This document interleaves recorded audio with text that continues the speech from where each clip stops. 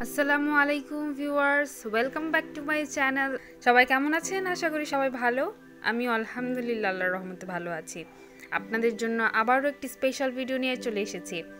আজকের ভিডিওতে স্পেশাল একটি রেসিপি আছে, যার নাম হচ্ছে chicken shashlik so don't miss it আমার গত ভিডিওগুলোতে দেখা যায়, আমি হাঁটতে বের হয়েছি সকালের দিকে বা বিকেলে, তখন আমি ভিডিও করি, সেই ভিডিওগুলো আপনাদের সাথে শেয়ার করি। তো আজকে কোথাও হাঁটতে যাব না বা হাঁটার কোনো ভিডিও নাই। আজকে আমার বাগানের কিছু দৃশ্য আপনাদেরকে দেখাবো। ভিডিওর শুরুতেই আপনারা আমার বাগানের নয়নতারা গাছটি দেখেছেন, আর এই হচ্ছে গাঁদা ফুল গাছ। আসলে গাঁদা ফুল বললে ভুল হবে, এটি গাঁদা ফুলের একটি প্রজাতি। যখন ফুল ফুটবে তখন আমি আপনাদেরকে দেখাবো। এখানে এরকম আরও একটি গাছ রয়েছে, কিন্তু এতে এখনও ফুল আসেনি। আর এই হলো আমার অপরাজিতা গাছ। এই গাছের ফুল দিয়ে চা তৈরির একটি ভিডিও আমি অলরেডি আমার চ্যানেলে শেয়ার করেছিলাম। তো আমি ডেসক্রিপশন বক্সে এর লিঙ্কটি দিয়ে দিব। যারা দেখেননি তারা দেখে আসতে পারেন। এই হলো মরিচ গাছ, পাশে লেবু অথবা কমলা গাছ, আমি শিওর না। আবার অনেকেই বলে এটা জাম্বুরা গাছ। এই হলো পেয়ারা গাছ। এটি হচ্ছে লাল পেয়ারা গাছের জাত।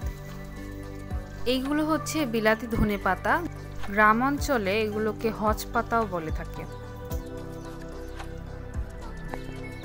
আর এই হলো বেগুন গাছ, এগুলো কাটা বেগুনের জাত।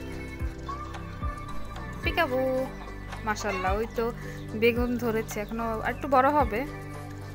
এই বেগুনগুলো আকারে এরকম ছোটই হয়, আর গাছে কাটা থাকে।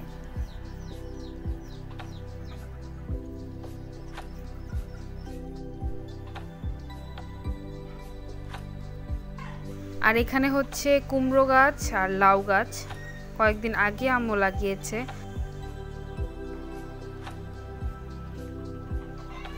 এই যে এটাও হচ্ছে কুমড়া গাছ। কুমড়োর পাতাগুলো অনেক বড় বড় হয়। এই যে পেঁপে গাছ, এখন পেঁপে নাই আমাদের কাছে। মেষ্টা গাছ। বাসার পেছন সাইডে এই মরিচ গাছ এবং লেবু গাছটি রয়েছে। বাগান ঘোরাঘুরি শেষ করে চলুন এবার রেসিপির দিকে যাওয়া যাক। এই রেসিপি এর জন্য বোনলেস চিকেন কিউব করে কেটে নিতে হবে। সাথে দিতে হবে স্বাদ মতো লবণ এবং এক চিমটি পরিমাণ খাবার সোডা। এবার লেবুর রস দিতে হবে তিন টেবিল চামচ পরিমাণ। উপকরণগুলো দিয়ে ভালোভাবে মিক্স করে পনেরো মিনিটের জন্য ম্যারিনেট করে রেখে দিতে হবে। এবার দিতে হবে হাফ চামচ পরিমাণ কালো গোলমরিচের গুঁড়া, লাল মরিচের গুঁড়া এবং জিরা গুঁড়া। এবার দেওয়া হচ্ছে দুই টেবিল চামচ পরিমাণ সয়া সস। এবার সামান্য পরিমাণ তেল দিয়ে এক চামচ পরিমাণ আদা ও রসুন বাটা দিতে হবে। এবার ভালো করে মিক্স করে 30 মিনিট মেরিনেট হবার জন্য রেখে দিতে হবে।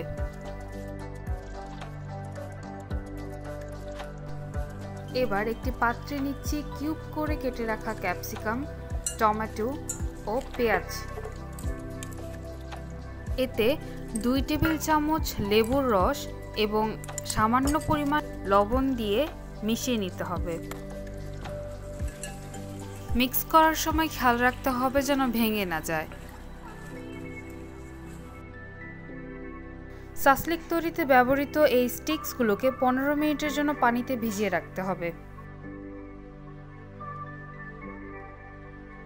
এবার প্রত্যেকটি ইনগ্রিডিয়েন্ট দিয়ে স্টিক্স সাজিয়ে নিতে হবে।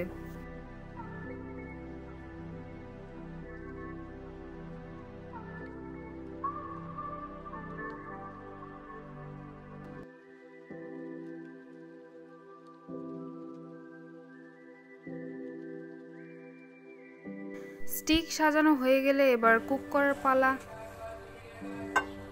সাসলিক ভেজে নেবার জন্য পেনে দুই টেবিল চামচ পরিমাণ বাটার দেওয়া হচ্ছে। বাটার মেল্ট হয়ে গেলে এতে সাসলিকগুলো দিয়ে দিতে হবে।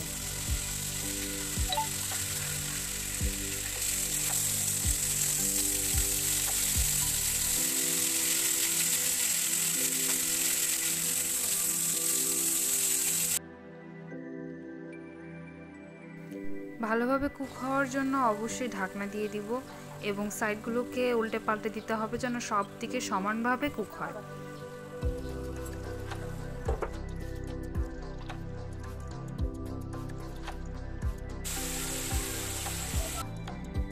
রান্না হয়ে গেলেই পরিবেশন করুন এবং উপভোগ করুন মজাদার চিকেন সাসলিক।